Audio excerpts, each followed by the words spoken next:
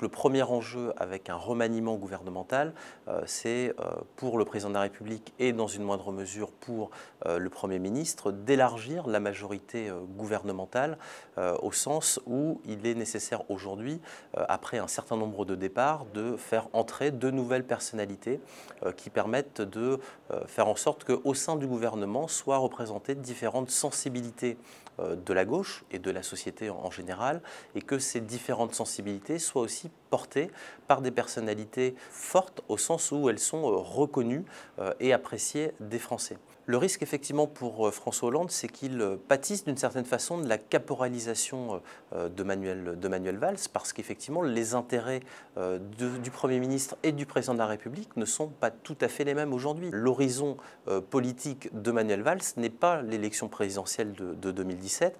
Il sait très bien que ce n'est pas à cette élection-là qu'il pourra se présenter, sauf si François Hollande n'est pas candidat, mais la question n'est pas posée aujourd'hui. Et que donc, l'enjeu pour lui, c'est avant tout de mener à bien un certain nombre d'actions sur le plan gouvernemental et notamment sur le front euh, de la lutte contre le terrorisme et donc euh, concernant la déchéance de nationalité, l'état d'urgence ou la réforme de la politique pénale. L'horizon euh, de François Hollande est lui d'une certaine façon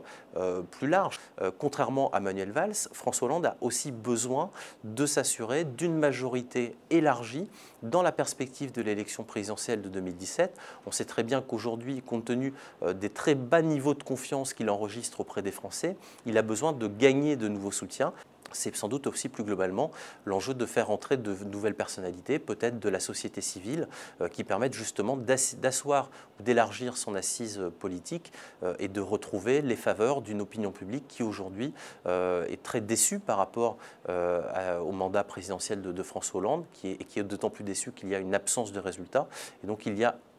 une urgence, une vraie importance pour le président de la République aujourd'hui, effectivement, de pouvoir élargir cette majorité autant que possible.